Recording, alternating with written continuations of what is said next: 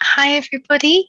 We're um, shortly about to begin the second session of NMCI. We'll just leave it two more minutes to let people join because I can see people are coming in. You are very welcome to this panel on decentering consensually non monogamous whiteness.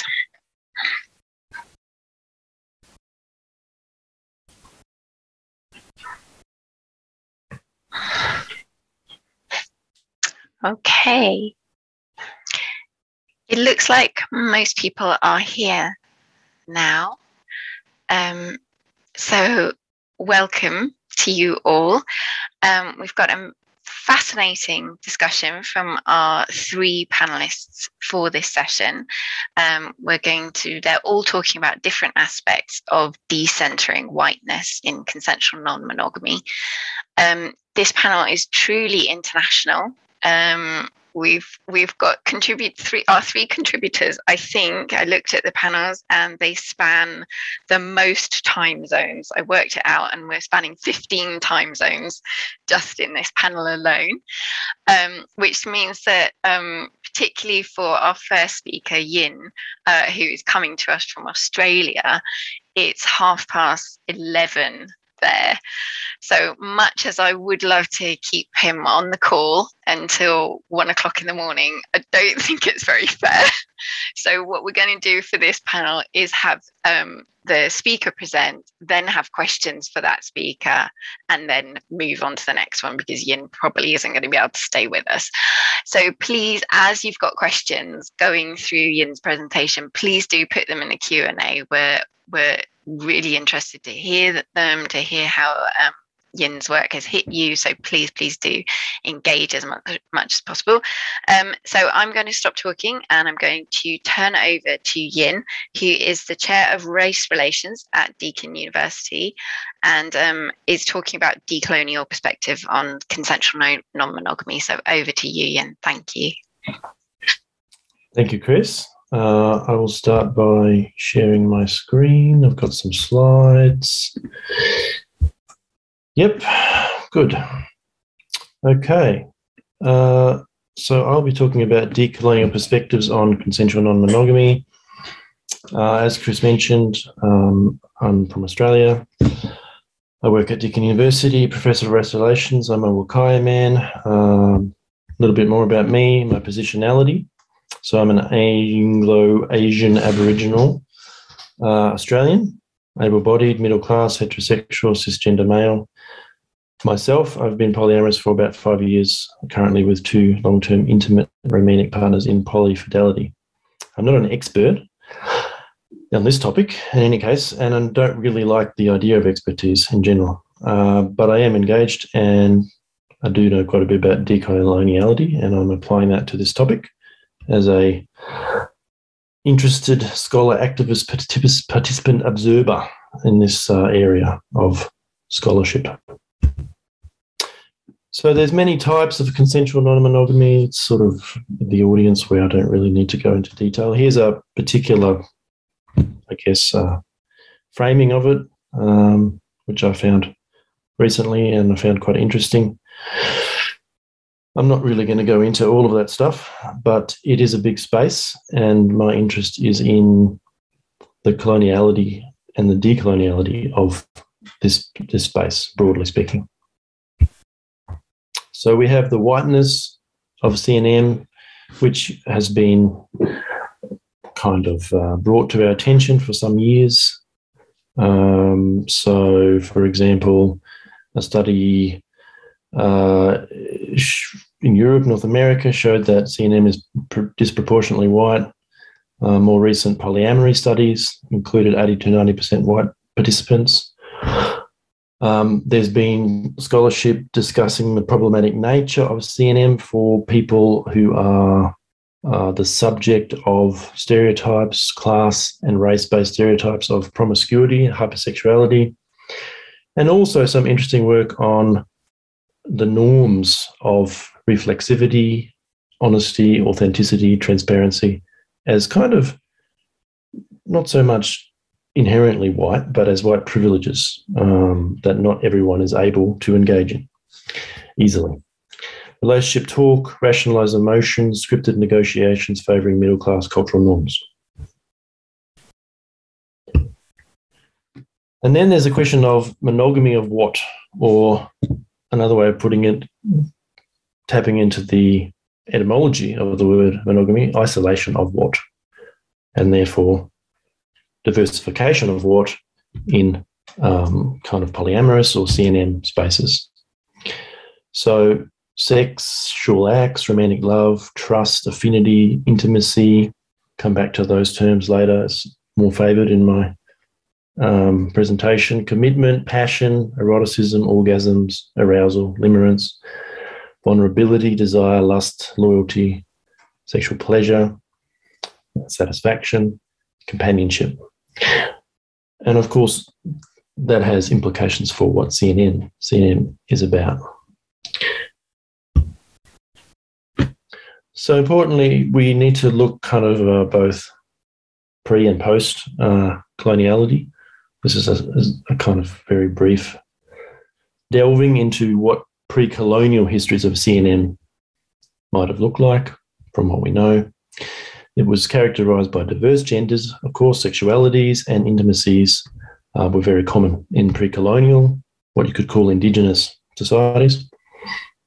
These societies were often matriarchal rather than patriarchal. Patriarchy has, I guess, taken over, been on the rise in the last 10,000 years, but before that, different story.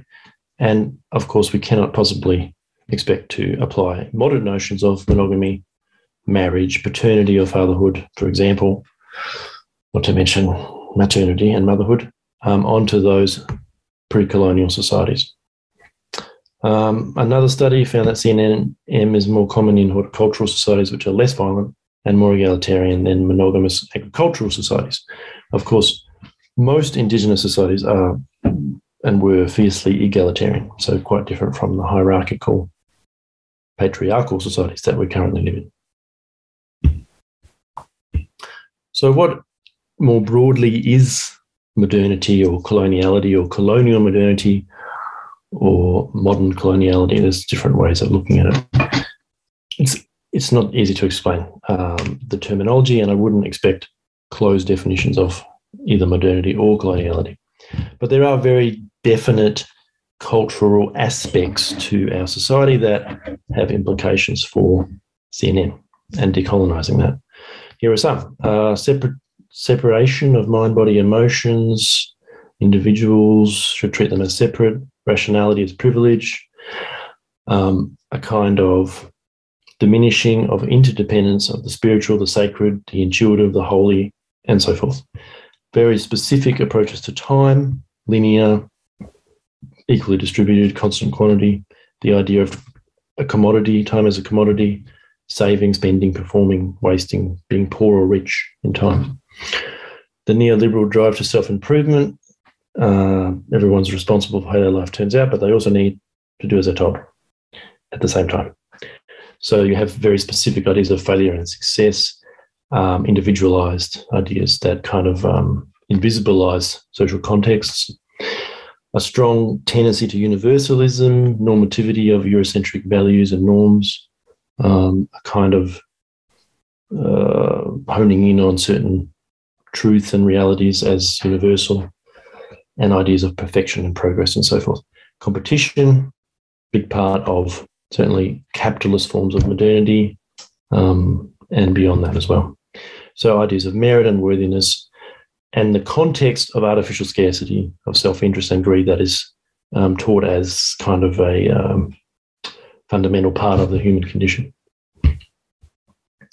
Then we have illusions of modernity, such as the fact that we're separate um, from ourselves, different parts of ourselves are compartmentalized. Other people, beings, land, sea, and sky, and the denial of interdependence and vulnerability to that interdependence. Notions of unrestricted autonomy, kind of like um, I'm free, I can do what I like type of stuff. Entitlement, merit, innocence, denying systemic violence, complicity, and, and incomplicity in harm. Of course, unending growth, progress, accumulation, consumption on a finite world, and, and tropes of certainty, mastery, control that offer simplistic solutions to complex predicaments, I would say. Problems is probably the wrong word there. Denial of the magnitude of the challenges we collectively face. So this is a, this is a general introduction to de- to what is modernity, what is coloniality, and also, of course, leading on to what is decolonization. What does that look like? And then how could we apply that in some ways to CNM? So decolonization is a process of interrupting um, the satisfactions we have with the perceived certainties, securities, entitlements afforded by colonization or colonial, colonialism, coloniality. It's about more than apologies, tokenistic gestures, redemption, affirmation, or so forth, um, or alliance with Indigenous perspectives or peoples on colonial terms. It's, it's a much deeper transformation that involves understanding, sensing, being, um, visceral care, responsibility, our ability to respond, um, and also confronting our fears, denials, pain, and various other traumas and triggers and so forth, and our self image, of course, as I guess not complicit in harm, specifically, as an example. So, here are some decolonial perspectives. I would invite you to think about this in relation to CNM. So, Nothing is complete, perfect, or enduring, but all is alive, sentient, profoundly relational, and deeply sacred. We are immersed in mysterious worlds which we can learn to perceive, inhabit, commingle, and grow with. We are invited to outgrow the often unquestioned obligation to obey, conform, judge, and repress, which stunts our ability to express, create, connect, and play. We are called to conscious, embodied, loving, reverent co liberation with each other, including non human or more than human life, and the spontaneous, emergent, complex, self organizing, living cosmos that we are part of. So, without spending a long time on this, which we could, uh, is the very different approaches to what is real, true, and actual in comparison to the broader colonial um, tendencies we discussed earlier. So, t- towards decolonization means basically beyond separation, exceptionalism, beyond single stories and pinnacles, beyond consumption uh, of various parts of our world, and different forms of organizing, including intimacies, which we'll get to, but also economies, socialities, things like debt and property, institutions, borders, nation states, social statuses, deservedness, very deeply enmeshed um, materialities and socialities within our world at the moment. So it's a big topic, um, and it's something to grapple with and confront, not solve as such. So, decolonial futures would be about some of those things I mentioned before, different ways of relating essentially with ourselves, with each other, with nature, unlearning ideas of reductionism, truth, rightness, power over, ambition, success, perfection, certainty, control, coherence, mastery, progress, virtue, validation, heroism, fame, merit, uh, entitlement, duty, and sacrifice. Very colonial modern ideas. So, exploring new transformative ways of relating, perceiving, being, doing, knowing, intending, all those sorts of things. Um, beyond exceptionalism, exploitation, accumulation, extraction, consumption, growth, and other forms of human hubris, of which there are many. So, what does that mean about CNM? Well, what I'm suggesting is that we reconsider, reframe, re envisage, reimagine CNM as kind of sacred affinity. Not the only way, of course, but one form. And what I'm suggesting is that the last 10,000 or so years of patriarchal, colonial um, modernity has warped ideas of masculine, the feminine, the sexual, the sensual, the intimate, the erotic, and traumatized those concepts as they are embodied within us. And what we could do is think about sensuality, sexuality, and intimacy uh, in loving co becomings um, as sacred and healing when embedded in care, compassion, empowerment, and trust. So, kind of love intimacies uh, as more of this concept of ontological rootedness. So, a kind of way of being in the world that connects us with the living cosmos. So, into deeper union with life, rekindling erotic energy, we come into the right relation with our own selves, each other, and the earth. So, how can CNM, CNM be part of that reconfiguration, that reshaping, co shaping? Can we think, think of CNM as wild affinities? So, wildness as a kind of juxtaposition to the captivity of modernity. So CNM could be a form of or an aspect of wild intimacy rooted in truth, authenticity, and fidelity to needs, desires, feelings, dreams, pleasures beyond colonial conventions, expectations, taboos, and judgments. Wild intimacies, intimacies that have a kind of anarchistic decolonial power that touch upon the romantic, friendship, affinity, solidarity, and also broader ideas of the eco-erotic, earth as lover, um, as articulated by scholars like Kim TallBear. So this is part of a broader invitation to sense what our hearts yearn for, our souls are called to, and our deepest longings for life beyond colonial modernity, seen through the lens of affinities, um, sexualities, intimacies, and so forth. Is an invitation, really, to as part of a broader uh, invitation to strive for societies that value self-realization, needs freedom, interdependence, care, love, connection, celebration, beauty, grief, and cooperation, or co liberation, if you will, without institutionalized exploitative hierarchies, hoarding resources um, produced by the labor of others, but also hoarding expectations um, of relationality. So, weaving networks of empowered local cooperative communities grounded in anarchy, degrowth, wilding, unschooling, permaculture, decolonization, but also myth, ritual, and ceremony that inspire authentic, creative, thriving, playful, vivid, visceral, plural, messy, vulnerable, sacred, sensuous, joyful, senseful lives, part of which would be a focus on a much diversified forms of intimacies. And how can we think about consent in CNM? And how could we think about decolonizing consent itself? So, consent doesn't equal autonomy, it doesn't equal desire, it doesn't equal arousal, it doesn't equal pleasure. And it may serve, in fact, to diminish or pervert intimacy into dissected encounters of atomized bodies, um, um, re consenting in each instance, each flickering kind of clock time. What if we aim for a democratic, hedonistic, intimate culture with distributed potential for healing through joy, eroticism, and intimacy? about much more than just consent. Beyond consent towards kind of empowered, co determined, dynamic, embodied, constitutive, interdependent, emergent relationships. A focus on deep relationality, essentially, embedded in intimacy, healing, trust, presence, security, and compassion and passion. So, what is beyond consent, and how does that how does that intersect with decolonial relationality and broader democratic hedonistic cultures of intimacy. So the challenge is really to become with being with the uncomfortable, the unknown, the unknowable, the unexpected, the uncertain, the unthinkable, and the imperceptible, which is where decoloniality lives on the margins of colonial modernity. Make unique mistakes doing, in doing what is collectively needed beyond convenience, choice, or conviction, metabolize our assumptions, our complicities, our tensions, our contradictions, projections, triggers, and traumas of modernity over thousands of years that have developed.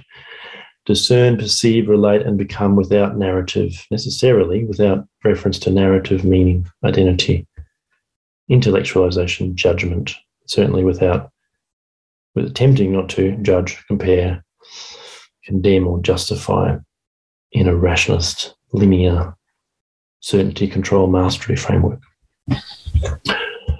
All right, I think that's enough from me. We'll leave some time for questions. Thank you. Thank you so much, Yin. That was so thought provoking. It really gave me, it made me feel warm inside, frankly. I really love the sort of concepts you were talking about. Um, so it seemed to me that um, I've, I've not seen any um, questions come through from our audience yet, so let me um, pose one to you while they're thinking. Would you? It's it seems to me, but correct me if I'm wrong, that CNM you're seeing CNM as in, in almost inherently decolonial because of its emphasis on connection, or do you think that's too much of a reach? What what what's your thoughts? I think it's got a lot of potential to be decolonial. It's it's sort of inherently uh, in opposition to an important part of coloniality. But I think there's a bit more we need to do to draw out the potentiality in in in deep relating in sacred and divine um, frameworks in in yeah in really tapping into beyond the surface level, I guess, of of of CNM. Um, thank you. We've got some questions come through now. Oh, Um, so uh, somebody who's remained anonymous says, I see how consent could be a colonial binary. However, for me as an autistic woman, when engaging in intimacies, consent is a way to establish mutuality and safety. How would you combine the decolonial approach with neurodiversity? Well, I mean, neurodiversity is just part of getting beyond the boxed, kind of compartmentalized, flattened cartographies of modernity. So it means that everybody else in modernity needs to become much better at sensing into different neuroconfigurations. And so that we can relate deeply and authentically and um, you know with a lot of um, passion and respect and responsibility to diversities of everything including neurodiversities and so i would say that if we can foster the deep relationality the empowered cultures of intimacy across many forms of being and becoming, then we don't need to, there's no particular reason why we would need to refocus on consent in neurodiverse situations. I mean, I think there's the same problems apply to that particular expression of humanity. That's a lovely answer. Thank you. Um, I've got a question from Matthew Waites who says, Great presentation. But does this account for the decolonial homogenized societies that existed before colonialism? Did some have patriarchy, for example? It's a hard question to answer, I think.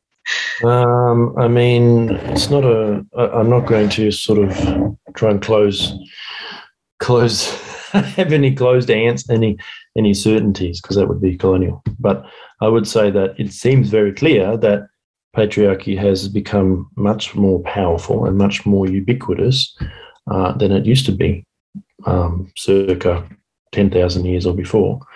So it's not to say it's not either or; it's and both but there are kind of um, emphases that have become vastly different to what they were before. Yeah, thank you. Um, I've got a question from Maria Amato. Do you think the Eastern tradition of Tantra, not just the sexual practices, but the whole philosophical structure, um, could be helpful in the decolonization that you're talking about? Yes. I don't know if you know much about Tantra. Not as much as I would like to, but I think it's definite. I feel that it's definitely. Um, it has kind of um,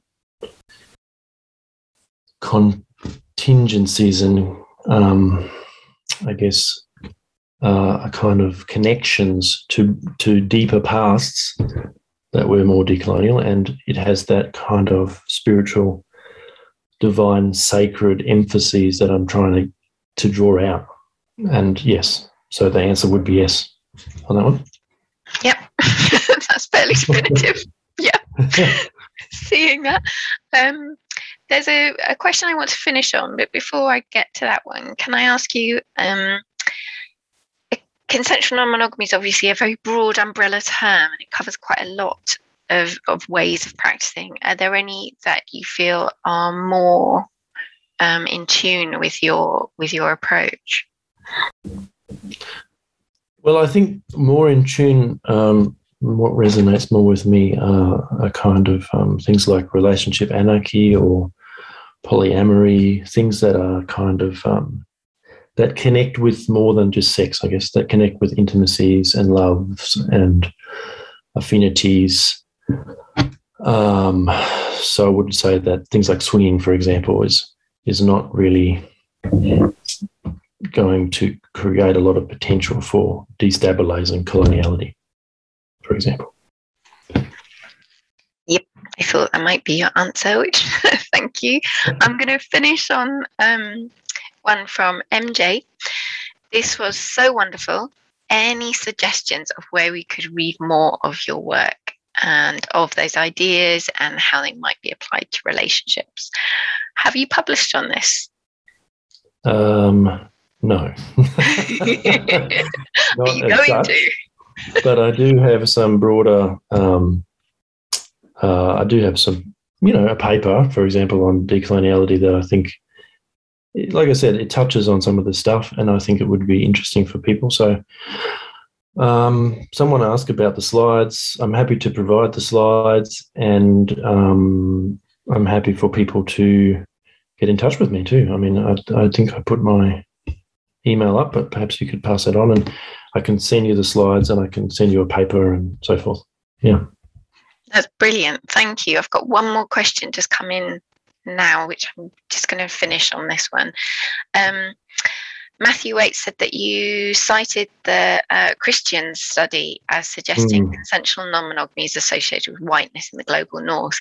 Could this be due to problems in polyamory research in the north not reaching black populations who might be practicing consensual non monogamy but going unnoticed, for example? Not sure if you can answer that, but I bet that mm. Crystal's going to be able to answer it. So maybe it's a nice handover. Yin, do you have any thoughts on yeah. that? I mean, I think Crystal will answer it. I think there's a few things going on. One is, you know, white biases in research, white biases in acceptance in communities, um, and biases in um, epistemology as well. So the so understanding when you're seeing CNM happening um, as opposed to the narrow view of what you think it is you know, from a white lens. So all of those problems. Yeah. Fab. Thank you so much, Yin. That was so thoughtful and thought provoking. It's just lovely. Um, I'm going to let you get off now because it's midnight in Australia. I'm sure you're wanting to sleep. So thank you so much for joining us. Thank you. I'm going to turn now to our next speaker, Crystal Byrd Farmer, who's joining us from the US. Um, she's going to be speaking about non monogamy in the Black American community. So, perfect kind of segue into your talk. Um, she's a speaker and a writer whose book, The Token Common Sense Ideas for Increasing Diversity in Your Organization, is out now. And over to you, Crystal. Thank you. Yeah, I was looking around because I do have my book somewhere, but it's okay.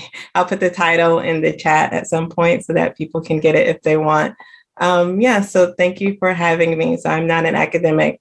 I don't write papers, but um, I have been polyamorous for several years, and I do a little bit of informal research on the Black American experience of polyamory and consensual consensual non-monogamy. So that's kind of what I'm going to be speaking about today. I'm going to talk about the kind of American context and specifically Black Americans' experiences with non monogamy and kind of the culture around it. So I'll give a little bit of history and then I will talk about some of the challenges that Black people um, in the US feel when it comes to exploring non monogamy. And um, yeah, and then we'll have time for questions after that. So, um, you know, I think a lot of marginalized groups kind of share some some uh, difficulties when it comes to doing something that's outside the, the white mainstream norm. And so when we think about non monogamy in um, Black American culture, a lot of it is influenced by uh, the how they've been colonized and how we've experienced um, you know, um, oppression in our history. So the first part that I'll think of, I'll talk about is, you know, the beginning of African Americans arriving in the US, being brought over as slaves. And so enslaved people weren't able to control their relationships. They weren't able to, you know, keep up with their children or even choose who they were married with to or, or had children with. And so there was a lot of um, kind of family separation just from the very beginning of our history in the US. And so it's significant that when we think about Black families, there's this trauma that's kind of embedded in our experience of not being able to have that choice of who our partners are. You know, there's not only uh, enslaved people being paired up to have children, but there's also the slave owners, you know, raping women and, you know, kind of having them bear children. So there's this already this, this kind of non-monogamy embedded in it and that they didn't have a choice, but they were also kind of um, doing what they were told. So another thing that happened on plantations was that um, children were taken away and, and, sold to other slave owners. And so the children weren't able to you know depend on maybe their birth parents.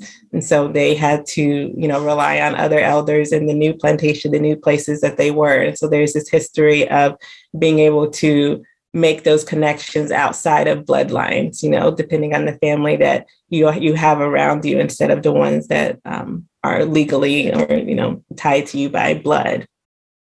Another thing that happened and you know that started with enslavement was christianity kind of being imposed on black american culture. So um, christianity is still a huge thing in the black community nowadays. So there's plenty of people who enter non-monogamy in the current age who identify as christians.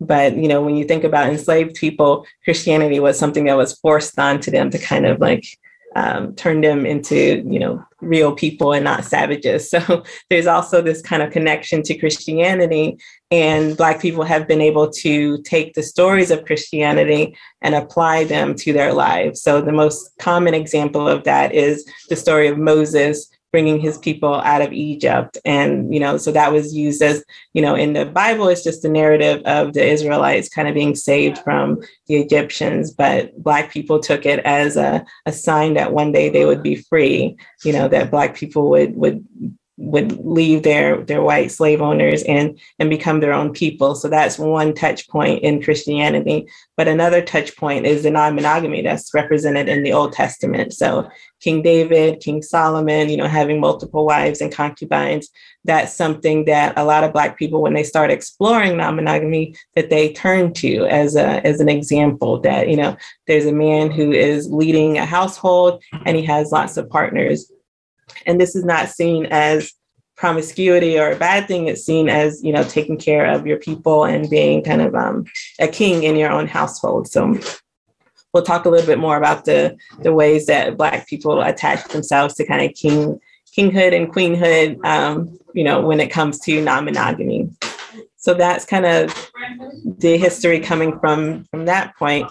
When we get into kind of the modern era, era in the 50s and 60s and 70s, there were a lot of collective movements, you know, so at the same time that hippies and people were, were doing their thing and creating intentional communities, Black communities were also organizing in different ways. And one example of that is the Black Panther Party.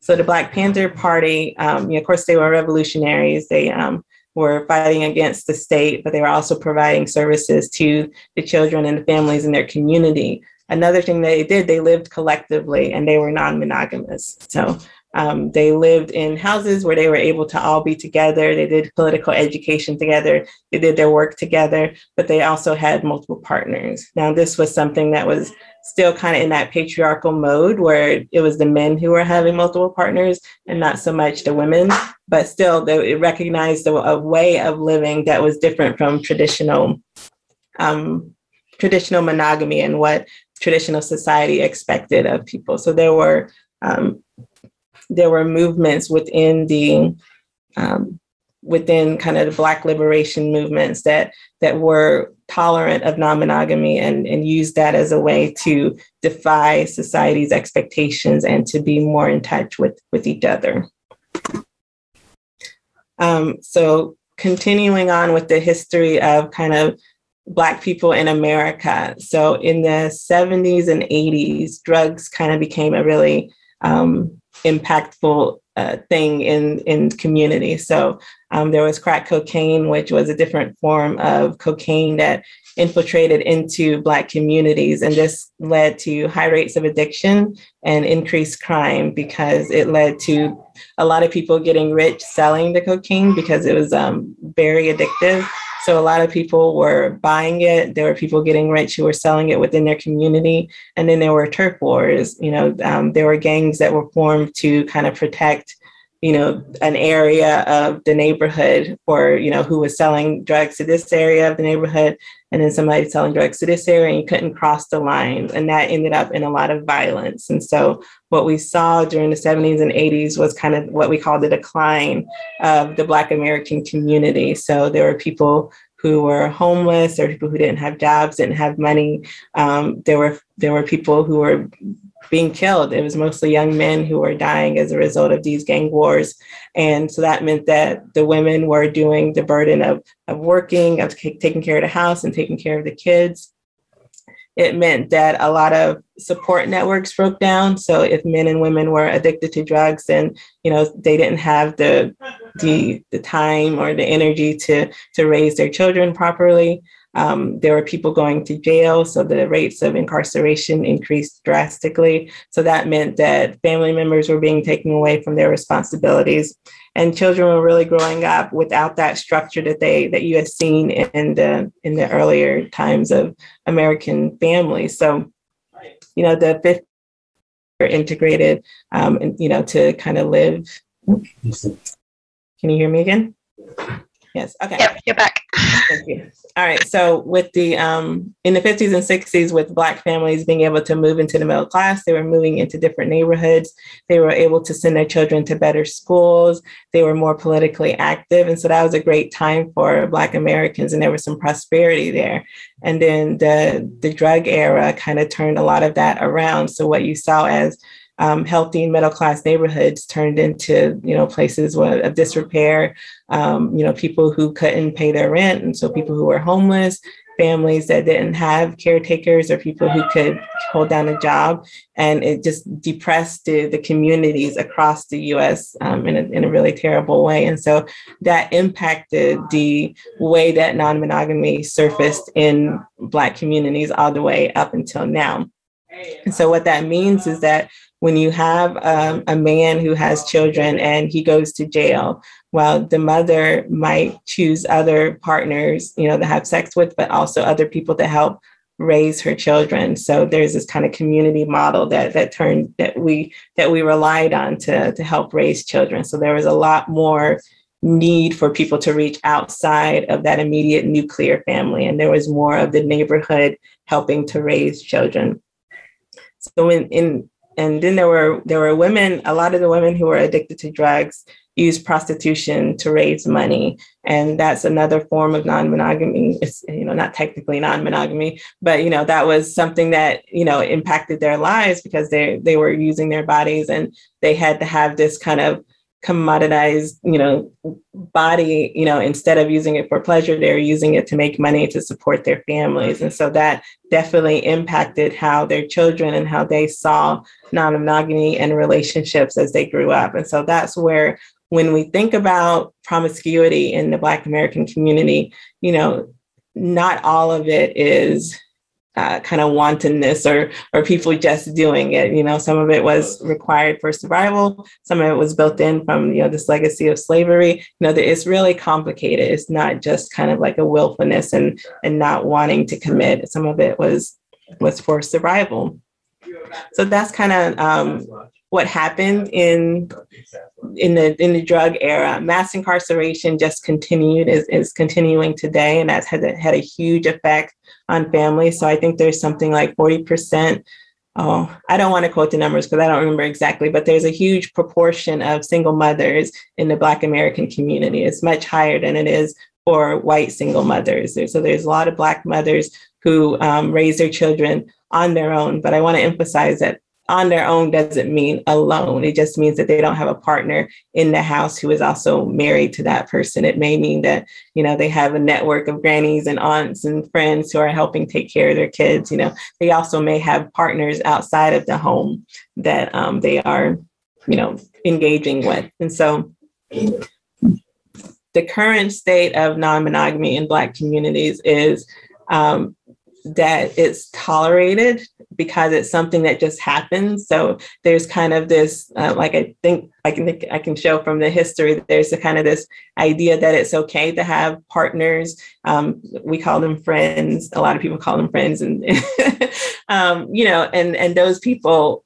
do not have to have the same commitments to raise a family or to be married. You know, some of them do choose to get married and to, to live together, but there's a lot of people who enjoy relationships without kind of falling into the traditional needs of you know this person should you know give you a ring and this person should have a like we should have a big ceremony you know these relationships happen and they're healthy relationships and a lot of times they are non-monogamous and so there's this um, this this just really interesting trend. If you you know look at a single mother, for instance, you know she may have what they call a baby daddy. You know, so the the parent of um, their child who you know they obviously had a relationship at some point, um, and they may still have a relationship with them, but they'll also have a current partner or somebody who you know that they're in a relationship with now and the interesting part about that is usually these two men will get along fine. You know, they are known to each other. You know, there's not a whole lot of drama. It's just like, okay, this is the baby daddy and this is the new friend, you know. So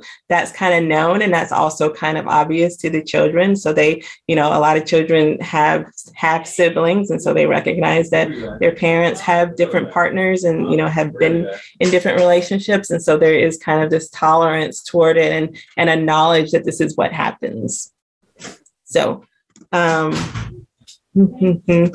I'm going to talk about another aspect of, of Black non-monogamy that I don't think is has been really been written about, and it's this kind of um, Black nationalism that is that started in the 60s. And well, I mean, okay, it, there were a lot of it came up in the 60s with Marcus Garvey and Malcolm X, and then it has continued to now where there's this idea that Black Americans should form their own nations, form their own communities, um, and separate themselves from white American culture. And it's not based in Black supremacy. At the extreme ends, it might be, but in general, it's about protecting the Black community, about bringing economic power to people in, in the Black community, and to, you know, kind of restoring that village model for Black Americans. So there was definitely something that was lost when schools and neighborhoods and jobs were integrated. You know, a lot of those kind of connections that Black people had were kind of split apart because now you could choose where you wanted to go. So some of this Black nationalism is kind of trying to bring that back to, to help people find that sense of community and kind of relying on each other. So that's part of the Black American experience. I think in non monogamy, it is not well recognized in the in the non-monogamous community, but is a strong motivator for people, for Black people who enter into non-monogamy and start exploring it. They're wondering, how can I build my village? How can I find one or two queens? And we'll talk about that term, you know, one or two queens and and you know, grow a family and build, you know. So that's kind of another motivation for Black families entering into non-monogamy. There is also this, um, a little bit uh, adjacent to that is this Pan Africanism and this pseudo history of uh, Black people in Africa being kings and queens. And so in the Black US tradition, there's this idea that, oh, we are descended from kings and queens, and, you know, they were monogamous and they had these huge families. And so that's something that we should return to. So um, that's what motivates a lot of people, or that's what people use as justification for non monogamy is this idea that, you know, there are African cultures that um, celebrated non-monogamy and had you know strong heads of households and people who could um, could lead a family and lead a community. So that's another kind of motivation that a lot of Black Americans have when they're exploring non-monogamy. But there are some challenges to um, to the Black community when it comes to non-monogamy. One of the things that happens when you do have this ideology of kings and queens is that that's based in patriarchy. And so you have this idea that the man is the head of the household. And so the man has this uh, stereotypical, you know, figure that he has to do all the providing, you know, he has to make the money, he has to provide a home for all of his um, partners when really in the American context, you know, there are plenty of women who are capable of, you know, being self-sustaining. And, you know, that is the reality for a lot of women that, you know, they don't need somebody to take care of them. So there's a lot of patriarchy that comes from black men who are coming into the community who are expecting that you know a woman will be a woman will be subservient to them or kind of uh, defer to them when it comes to making choices, maybe about, about, other partners or about children and money. And so that's kind of a conflict that often comes up. And we have a lot of women who are Black and who were raised as kind of like independent, I don't need no man um, type culture, you know. And so when they enter into non monogamy, they don't, they're not wanting to go back to that patriarchal model of being subservient. They want to be um, you know, strong Black women in the tradition of Audre Lorde. So, you know, that's one kind of conflict that comes up when we talk about Black Americans doing non monogamy. The other thing is that even though non monogamy is tolerated in the Black community, there is still this um, there's low information about the spread of stis and unsafe sex practices and so you know there's a term the down low for black gay men. And that was something because it was you know secretive it wasn't it wasn't acceptable. You know people didn't talk about it. And it also is reflected in the um, in the in the heterosexual world where you know if people were stepping out stepping out is a term that they use. If people were cheating on their partner they were less likely to use protection or to get tested for STIs.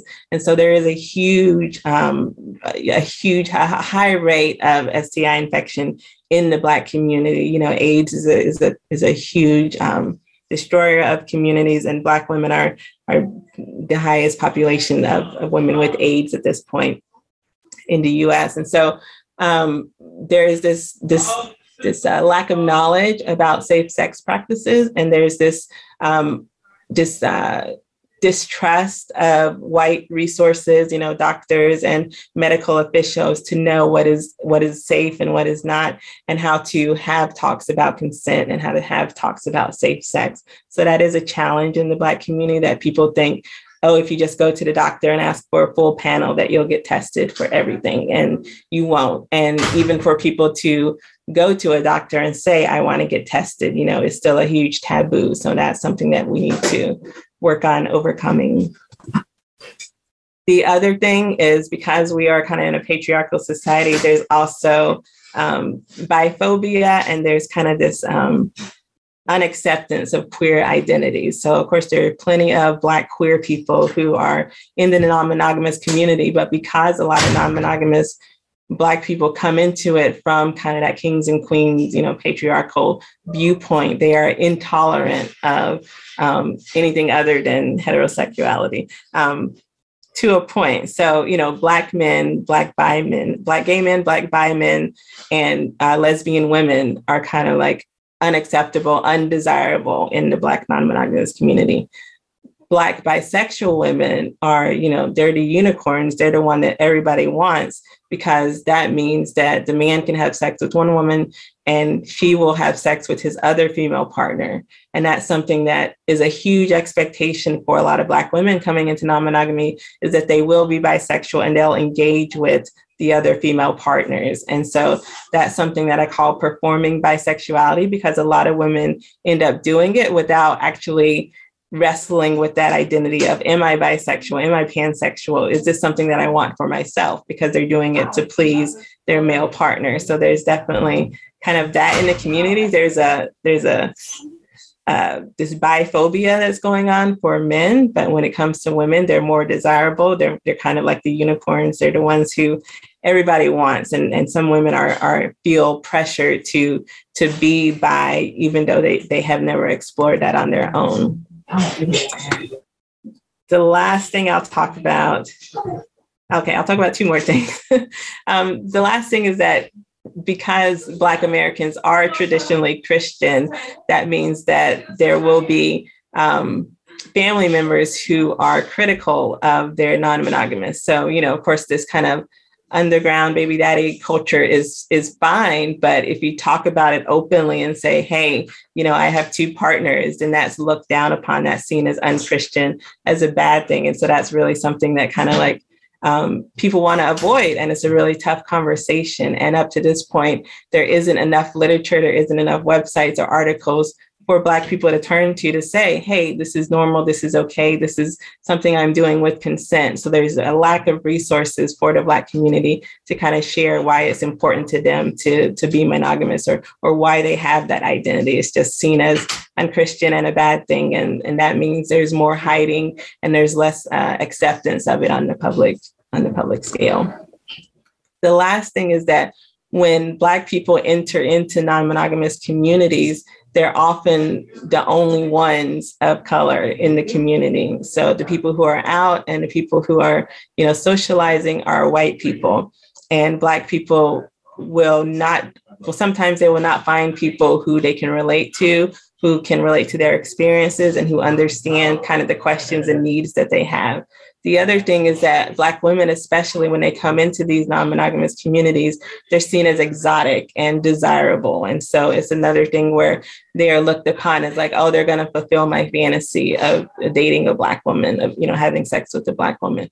And that puts a lot of pressure on the women who come into these communities, of course, because then it's taking away some of their agency because it's like, okay, now all these people want you, you know, and you don't have the time or the space to decide what are my needs and can I explore my needs and make sure that I'm doing what feels good to me. So those are a couple of kind of the challenges that Black um, Americans face. So.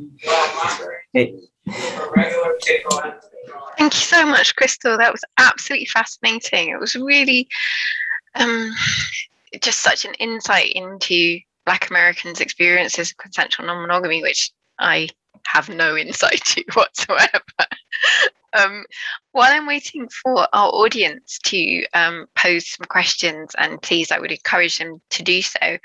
Um, you talked, I, I, was really interested when you were talking about the uh, sort of intersection between um, Black identity and particularly um, sort of Black nationalism and um, I was just wondering if there were sort of any other sort of political intersections um, that sort of affected the way that Black people come into consensually non monogamous communities. I'm really thinking, and you're going to have to correct me, but would you say that um, there's a different culture um, in different areas of the US? Do you think Southern Black experiences of consensual non monogamy are different? Do you think it's affected by the politics of that region in, in, in different ways? Do you have any thoughts on that? Yeah, it's definitely it definitely varies by region. So you think of like places with a high black population like New York or Chicago and California, there's um, more liberalism in those black communities, so there is a little bit more openness to it. But the South is a huge region where um, you know a lot of black people are more conservative, and they um, are kind of uh, still sticking to that Christian ideal of you know of, of what traditional families are supposed to look like. And so there's a lot more pressure for non-monogamous people to be underground and to not be out and to not socialize um, out in the community. So that is definitely something that's a challenge. Crystal's got some family around her. yes, yes, there, there are people like around. background noises every now and then. um, it's it's it's so interesting. It's such such a big interesting area, and like you say, there's not a huge number of people of color out in consensual non-monogamy communities as as academics might study them or as might you might see in the media. Um, i just I, do you think those communities are hostile to black people? Do you think there are th- um, do you think there are things that they could do that would um, make those communities more welcoming or I don't know. Why do you think that is, maybe? Yeah, so um, my book is called The Token, and it's written about, it was, you know, based on my experience, not only in non monogamous communities, but also in, in, intentional communities that are kind of, you know, come from kind of this this white hippie culture of creating you know communities and communes and stuff like that so what happens is that um, these, these people set up these majority white spaces. And so they are thinking about the needs and the desires that that they have as white people usually middle class white people. And then they don't kind of come into the thought of what um, other people of color would need or what you know lgbtq people would need or what disabled people would need. And so my book kind of goes into this just this kind of this blind spot when it comes to different identities. And so when black people come into these spaces it's not that people are pushing them away it's just that they're not set up to understand their culture, to be receptive to that culture. You know, I think in the queer community, it's a lot more acceptable to call people out and say, hey, this is not working for me. But when it comes to race, you know, when people call someone out, it turns into white fragility and this really emotional negative response. It's like, oh, but I'm a liberal, I'm a progressive, you know, I love all all people and I'm, you know, I'm not discriminating against you. And that kind of shuts down the conversation, right? So there's no ability to kind of explain how can this help me feel more welcome to it? So that's what my book is about kind of helping people to kind of get over that hump and be more receptive to people. That's fantastic. And there is a question specifically asking what's the title of your book? I think i think i saw that daniel put a link to it in the chat but could yes. you just tell people the title is the token common sense ideas for increasing diversity in your community so that's the title of it um, and, you know, I loved Yin's presentation. I didn't get to listen to all of it because everybody was, there's stuff going on around here. But yeah, so when it comes to, yeah, I don't think I can speak to it because I didn't hear all of it. But I think when we talk about decolonization, you know, there is still this mindset of a lot of Black Americans that's a colonial mindset, and we have to break through that. I think, you know, groups like the Black Panthers were really um, trying to break out of that and do it in a way that felt good to them as Black people. But there's a lot of us that when we grow up, we grow up in this Christian society and the, all these traditional expectations that, you know, even white people don't follow to the T. And so it's, you know, it's kind of like we're trying, but we're failing at something that never worked in the first place. That was in response to um, a question asking what Crystal's thoughts were on Yin's presentation. There's so much crossover and talking about the same sorts of ideas from different perspectives. It's it's it's lovely to lovely to see. You know, uh, we're nearly at the end of your time, Crystal. Thank you so much. I've just got one last question, just from the point of view, um, thinking about a question that Yin was asked. Um, that there there is a lack of research on Black experiences in consensual non-monogamy. You're not in the in an academic yourself. You don't work at a university, but um, what do you do? You have any thoughts on that?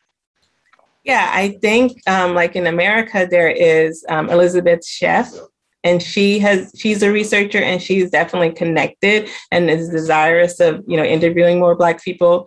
There's Chris Smith, who is a Black researcher, and he has done research on the Black non monogamous community. So there's definitely people in the US who are trying it, but yeah, there definitely needs to be more attention paid to it.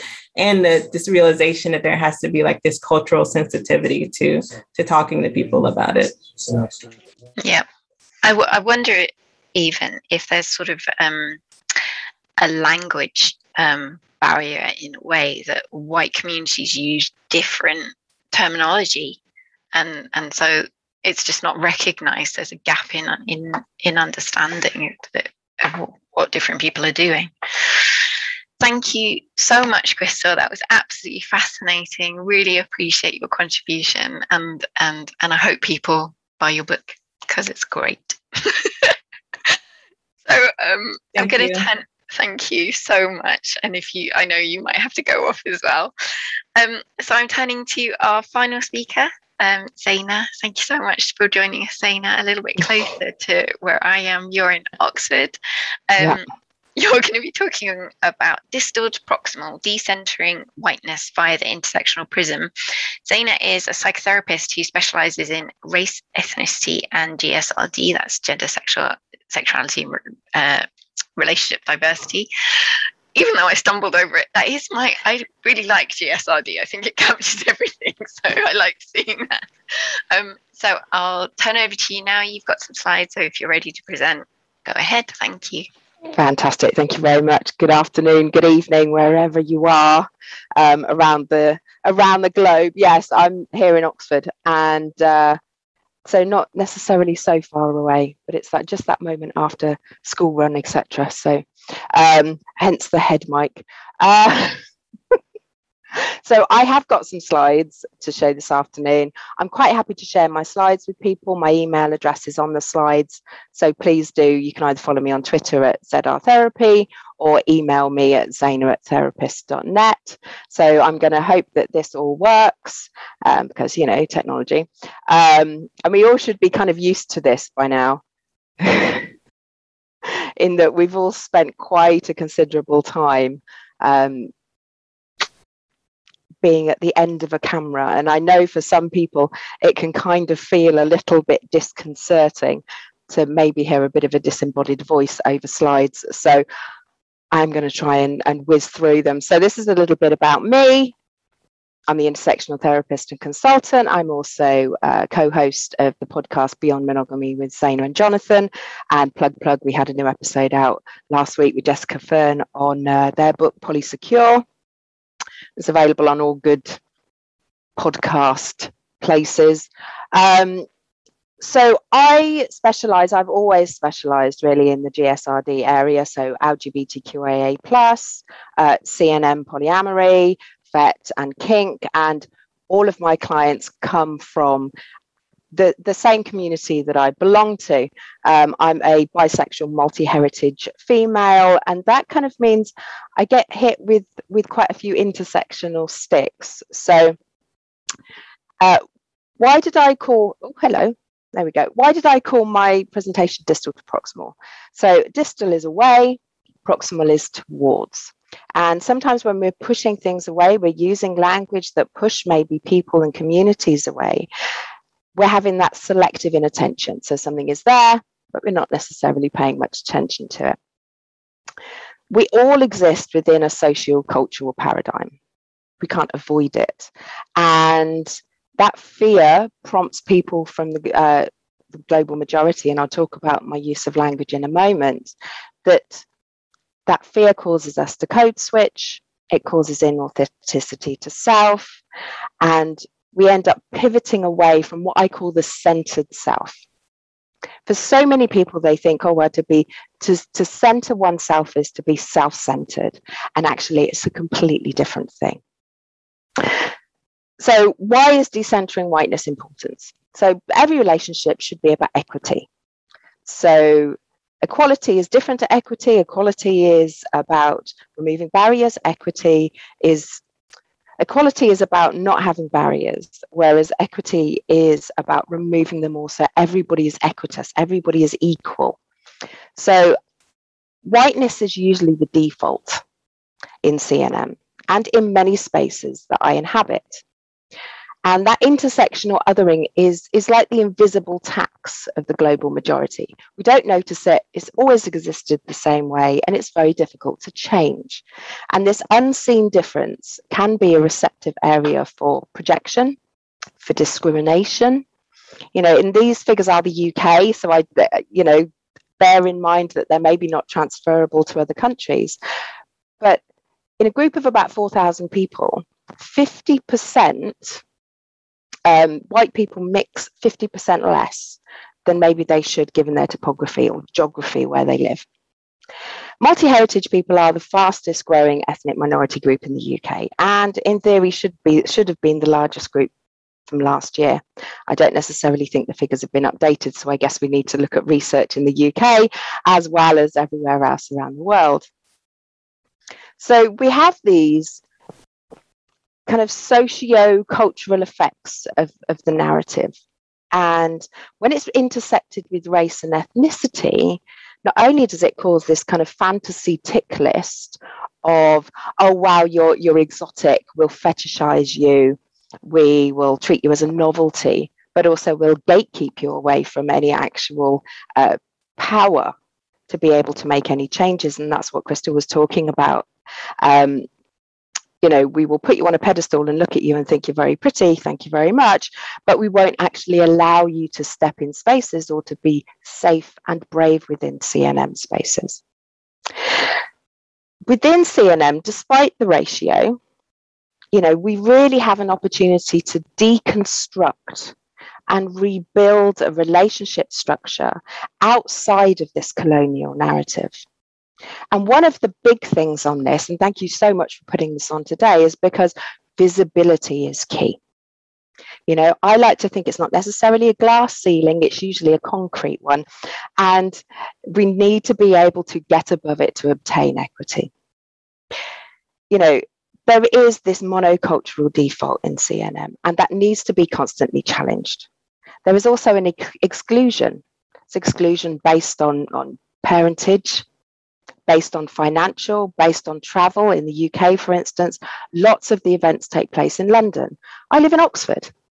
Um, so there's lots of events that actually you might be excluded from and therefore excluded from the community as a result when we look in and we need to consider the intersections of global majority, so we need to look at microaggressions, so also micro, micro insults and uh, micro othering. We need to look at minority stress. We need to look at code switching. We need to look at the racial inequality. And all of these things are psychologically damaging to people of the global majority. They result, when we have selective inattention to them, in discrimination, in bias, in psychological distress, in reactions instead of response. We can have communication difficulties both inside our cules and outside of them, and have these unforeseen status exchanges. So I use two methods of getting into this and trying to reframe it. One of them is Sullivan's self system. So I've got a lovely slide next that people can really geek out on. Um, but it's because I like diagrams. What can you say? But it's that it's that part of us which actively protects us from information that would cause us to reevaluate our pre-existing self-perceptions. Quite often, those pre-existing self-perceptions are socially conditioned.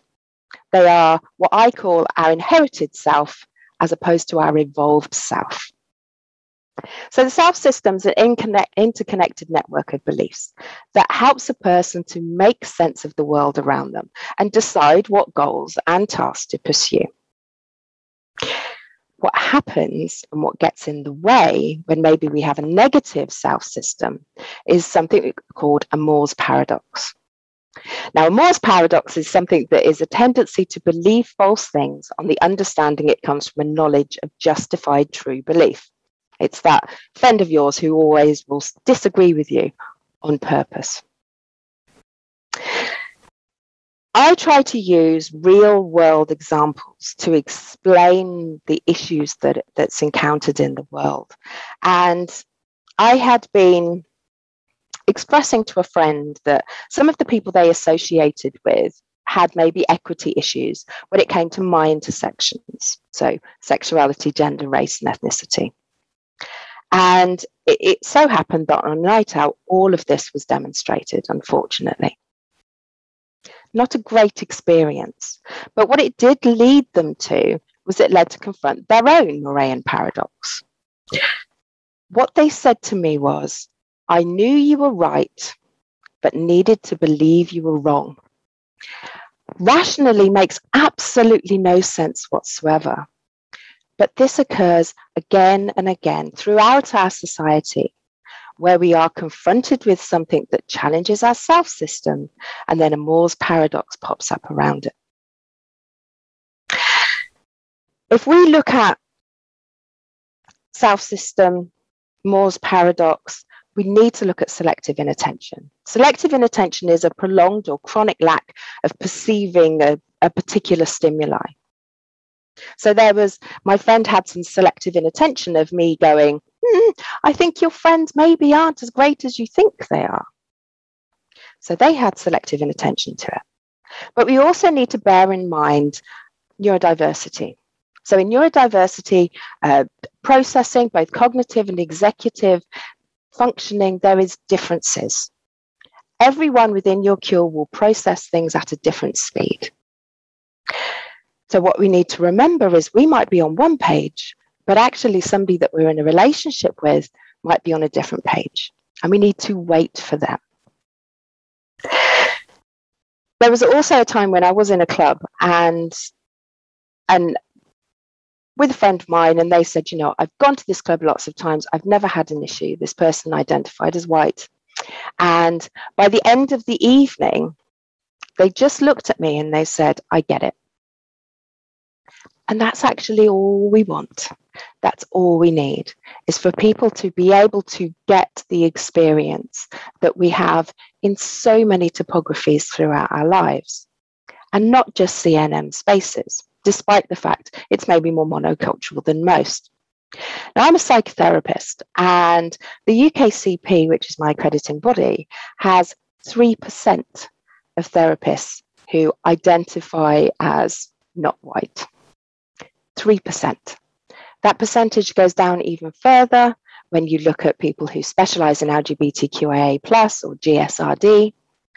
If you look at people who specialize in polyamory, CNM, non monogamy, FET, kink, there aren't many people in the profession doing what I do or working in the area that I do. If we're not considering these things, we will get things like racial gaslighting. One of the worst things you could ever possibly say to somebody of the global majority is, I don't see color. You need to see color. You need to acknowledge color. You need to recognize that a structurally embedded advantage exists purely based on what color you are. So this is this is the geek out slide, which I will gloss over, but please do email me if you want to have a little look at it. So this is Sullivan's interpersonal theory. This is level two and three. Level one is is slightly simpler to understand. These are the emotions that we go through. This is what we project to the outside world and how we can begin to reframe them. How we can get around using language, to make sure that people are understanding and knowing where we are, but also that we can move forward as a community, which is vitally important.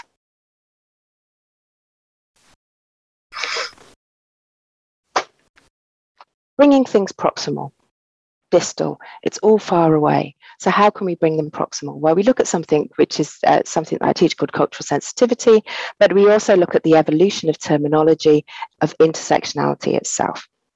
So the Oxford Dictionary uh, defines intersectionality as uh, the interconnected nature of social categorizations. So race, class, gender, there's some more on, on your screens for you, regarded as creating overlapping and interdependent systems of discrimination and disadvantage. Now, our intersectional prisms are, are multi-layered Okay, we don't just have one of them. And I would, I always encourage people to look at these diagrams and think about how many intersections they personally have, bringing it proximal once again. It's very difficult to think about when you're thinking about it distally, when you're thinking about it around somebody else. I've changed the language that I use around this conversation. The P word, privilege, kind of my Macbeth nowadays. And that's because I use the phrase structurally embedded advantage. Now, most people can break this down. Structure. In therapy, we talk about container principles. We talk about the scaffolding on our house, if you're thinking about Freud. You're the house, the scaffolding around you either closes you in or opens you up. It's the structure that is the intersectionality, not necessarily the things that overlap for you embedded. Anybody that's done anything on a website will know how to embed something. It's something that's taken externally and put into something. So it's intersectional oppression, it's patriarchy, it's all of the words that people, their self system comes up, they will create the Moore's paradox, or they may actually resurface one that's conditioned, and you end up walls up Nobody can talk to each other. Nobody can communicate with each other. So, using a phrase like structurally embedded advantage instead of privilege already you're beginning to circumnavigate something that might get in the way of conversation. You may have heard me use the phrase people of the global majority instead of POC or black. I'm not black. I'm multi heritage. And quite often, even I've experienced the feeling of not being black enough to be black and not being white enough to be white. So I use people of the global majority. Not only are we the global majority, but it means that I'm then not using terms that I'm uncomfortable with either. So, how can we decenter whiteness in our cures? Now we've thought about our own intersectionalities. Now we've thought about what intersectionality is and begun to use differing language so we can bypass the self system and Moore's paradox, was why I came up with the REM. And the REM is the relational ethnicity map. I didn't realize it, it made the acronym of a fantastic band when I made it, but I was quite pleased that it actually does.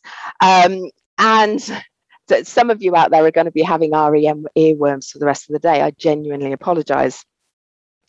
So in CNM, it is incredibly important to keep in our peripheral vision. So, you know, we might have something that's really important right in front of us, but to keep in our peripheral vision that love in whatever form, so whether that's a QPP, a queer platonic partnership, or whether that's sexual love, physical love, aesthetic love, should always be complementary, never ever competitive. Sometimes it can be in, in polycules or triads or whatever setup that you're using for CNM. This should be something that is used by everyone. To sit down, to have those open and challenging conversations and, you know, ask questions never make assumptions. I say this with clients all the time. If you, you're assuming through your own lens, listen to somebody else's. Be upfront about your conditionally, uh, your socially conditioned stereotypes. We'll all have them. You know, be upfront about them, challenge them, change them. Find emotional support from people. There's some fantastic Facebook groups that deal with kind of intersectionality and CNM. Find support there talk about your own intersections and know yourself. That's the key to cultural sensitivity. It begins with self. Look at the historical and intergenerational trauma that any partners might have experienced or be experiencing now. Confront and challenge the racial inequality in your relationships. Look at status exchanges. Look at racial and ethnicity based stress and trauma. It's incredibly important something around intergenerational trauma could be around where people go, oh, well, actually, you've, um, you know, why are you not over slavery? And this has actually been said to me. And and I always bring up the fact that if you paid taxes in 2015 in the UK, you were still paying the interest off on the payoff given to slave traders. So when people go, oh, slavery ended a long time ago, the financial aspect of slavery and therefore the intergenerational trauma of it actually didn't. So I'm going to take this is this is my well, actually I've got one more slide that's got my email address on which you would have seen if you want these slides. I do give them out, but I ask if you use any of the ones that I've originally designed, like the REM, that actually you you credit me if you use them anywhere. Um, so you can get hold of me at uh, zaina.net, that's my website, Twitter at ZR Therapy, and uh, you can email me at zaina.net. So I'm going to find my keyboard and do this, and then find the screen and stop sharing, and then I'm back again. And I, and I wanted to come back quickly because I wanted to tell this story, and it does come with a warning. Okay, it comes with a warning because there is language used in this in, in this encounter that I had that mentions a perpetrator of genocide. Now, mute me if you don't want to hear this. It was their words, not mine. So this is going to demonstrate selective inattention, no personal accountability for actions or views, a negative self system, and Moorean paradox or allowance for challenge. So I went to a wedding and I was the only person of the global majority in the room. I sat down as you do and, and talking to people and somebody come and sat next to me and said, What do you do? And I said, well, I do race and ethnicity and LGBT, and I'm really enthusiastic about my job. because to me, I have the best job in the world ever. And I can only describe that I encountered a misogynistic, racist, homophobic attack in what I thought was a safe and brave space, demonstrated through a verbal aggression and fear where somebody said to me fairly soon into a conversation, I'm a persecuted straight white man. I'm the modern equivalent to Hitler. What do you say to that apart from go, really, that's that's your experience? And they went on to say, I had nothing to do with what my ancestors did. I'm not apologizing or doing anything about it. Now, you might think, oh my goodness, that's a terrible experience, and it was. But it's an experience that gets repeated in, in spaces day in, day out. It wasn't years ago, it was last month in the UK, completely unprovoked. You know, I wasn't asking for apology. I'm not, I'm not asking them to speak for the whole of mankind just as I cannot speak for every person of the global majority. We're just asking for assistance to dismantle the structurally embedded systems of discrimination, both in, within CNM and outside of it. You know, how something has always been needs to be challenged, needs to be raised in spaces where it has otherwise been suppressed. And unfortunately, until we challenge the default of whiteness in relational spaces, conversations and attacks like that will continue to happen. Thank you so much for staying and listening this afternoon, evening, wherever you are. Thank you so much, Zayna. What a powerful way to finish. And I'm really conscious of the fact that that's just the most recent experience that you've had and that it's constantly ongoing and yeah, it's appalling. Um, I, I loved your talk. I thought it was so interesting. It brought up so many things for me. And and um, while our attendees are putting their questions in the Q and A, and please do please do engage with Zayna. Um, I I'm going to I'm going to challenge you on one thing. You totally don't apologize for infecting people with REM earworms. I know that you're happy about that, so don't give me that. just try and deny it. Um, I'm also going to ask you a, a fairly easy um, question, I hope. You mentioned that there were Facebook Facebook groups that you would recommend for people of the global majority who are consensually non-monogamous. Can you think of what any of them might be called? Just wondering if our attendees might find that useful. On the spot, I think one's called Black Fluent. Okay. Um, and obviously there is Black and Poly. Um, there aren't that many spaces. We have a couple of conferences every year in the UK. It's something that is growing in, in popularity. I'm seeing, in fact, I'm a relationship coach, and the only couples that, that I kind of see are those that are either exploring CNM or having issues with some facet of CNM. So it's something that is rising in popularity. People are beginning to think outside of monogamy is the only way forward. And that's really important. But what that brings with it is this in, internalized phobia. We're very much still looking, because we've all been conditioned with it, very much looking at CNM through a monogamous lens. Yeah. And we need to deconstruct that. You have these, so, you have so many layers. You have the intersectionality of trying to deconstruct monogamy, and then the trying to deconstruct racism. You know, racism, I know Crystal mentioned racism. It, there's a, a Stonewall statistic that says 60% of Black people have experienced racism from within the LGBTQIA plus community. Yeah. A community you know, that tries to congratulate itself on its, yeah. Yes, but even that has hierarchical structures within it.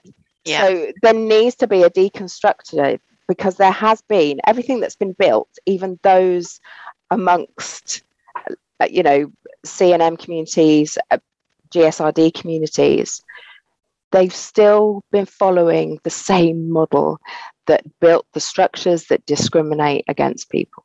Mm.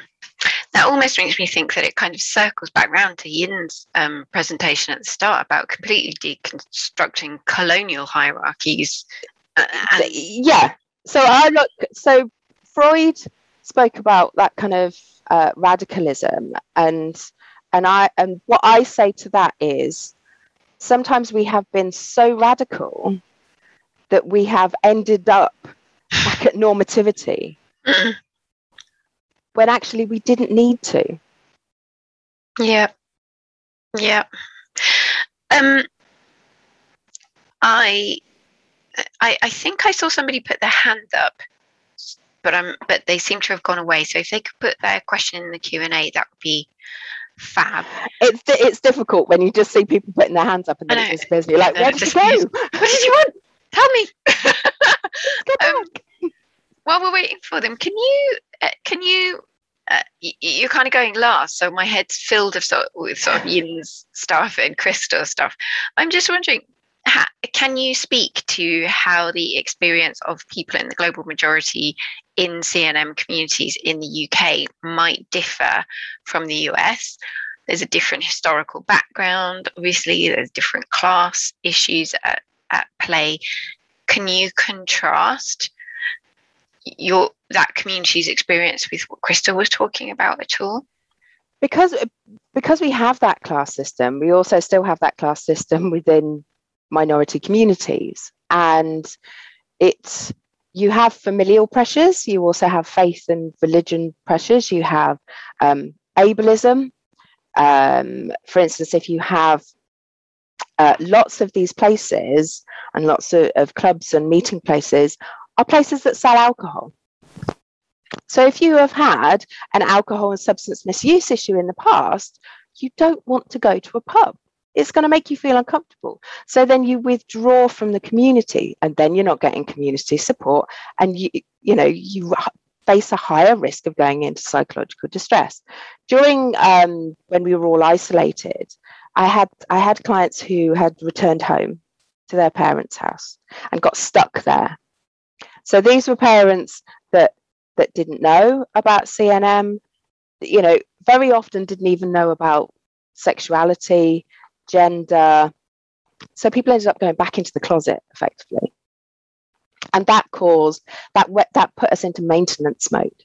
So it was difficult to move forward when actually you have to just make it, you're just treading water, you're just trying to stay where you are.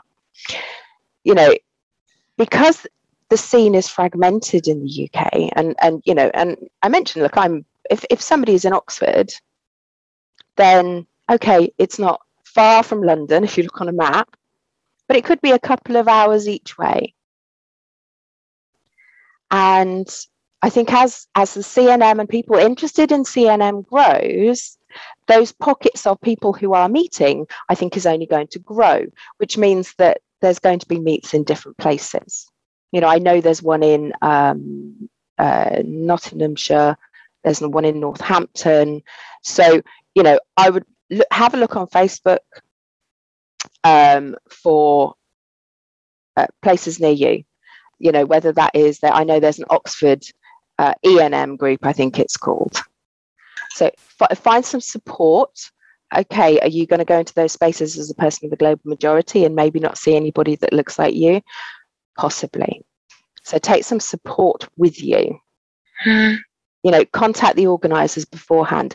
Ask them how diverse their group is. Mm. Yep, that's great advice. That's very um that's very warm therapist advice actually it feels you know very sensible very helpful coping techniques which a traumatized community needs really yes and and you know we're only further traumatized by the notion of pathologization by by some therapy and modalities. Yeah. Thank you so much. Thank you so much for your contribution. Thank you as well for kind of linking back to this morning's discussions. Um, so it's been a, a, lovely conference so far. Thank you very much Zayna. Um, thank, thank you to all the attendees. Um, I hope you've enjoyed today. Um, I'd like to remind you that tomorrow um, the morning panel is about parenting paradigms, and the afternoon will be a free form discussion where we'll be able to be a bit more interactive and connect with each other in that lovely uh, post pandemic Zoomy way. Um, so we hope to see you there. Thanks very much from myself, Christian, and Daniel. Thank you to all our speakers today. Thank you, Zayna. Thank you, Crystal. Thank you, Yin. And um, we are done, and we hope to see you tomorrow morning.